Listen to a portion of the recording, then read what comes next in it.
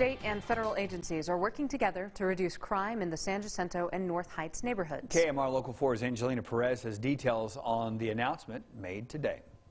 The U.S. Attorney's Office, FBI, and local law enforcement are now going to be a part of a new initiative, Project Safe Neighborhood.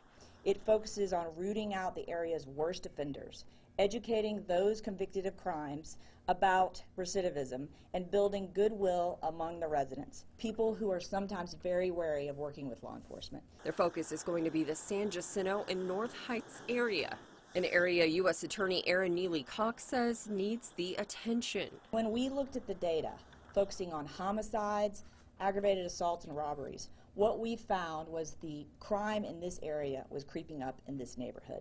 Chief of Police Ed Drain tells us they started the project at the beginning of the year and are already seeing a difference. Started Project Safe Neighborhood in January of this year, and uh, we've already got, I was told by some of my detectives uh, just yesterday that some of those def uh, defendants that we arrested earlier this month are going to be pleading out their cases uh, uh, within the next week or so.